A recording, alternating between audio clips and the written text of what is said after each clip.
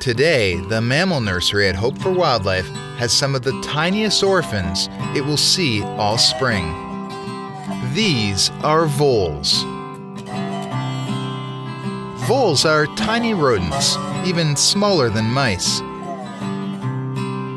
They're often the first baby mammal at the rehab and a sure sign spring has sprung.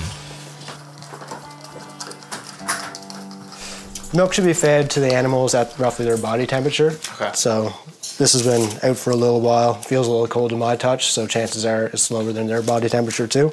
So we'll have to microwave the milk, get it back up to body temperature.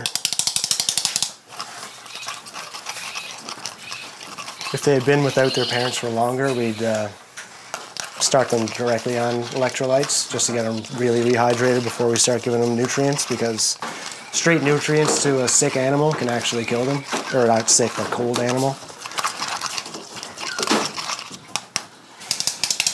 So this little guy weighs five grams.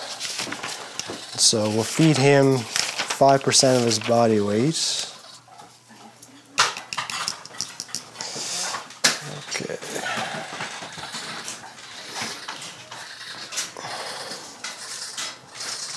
They're a lot of work,